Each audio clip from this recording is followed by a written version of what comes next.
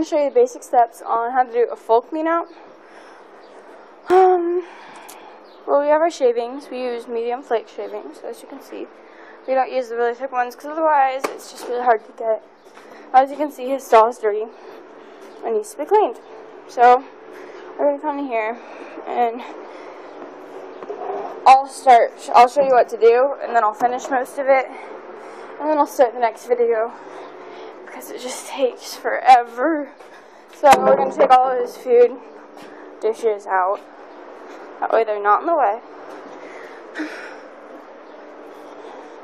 Get all the sawdust and stuff out of them.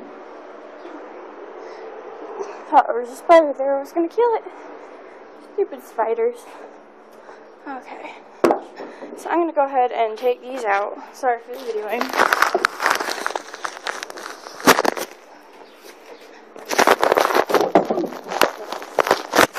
So these are our shavings. We, we use two bags. Then I'm going to bring a wheelbarrow and I'm going to push it in to the. Ooh.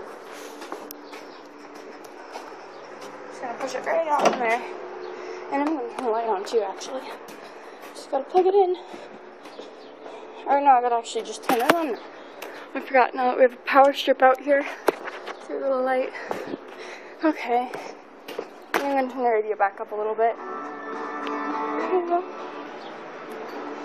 So I'm going to grab my shovel. I'm going to need my broom here in a bit, but that won't be for a while until after. And that'll be when I'm actually starting my next video. So we're going to come in here. I'm just going to start scooping it everything up and throwing it in our wheelbarrow.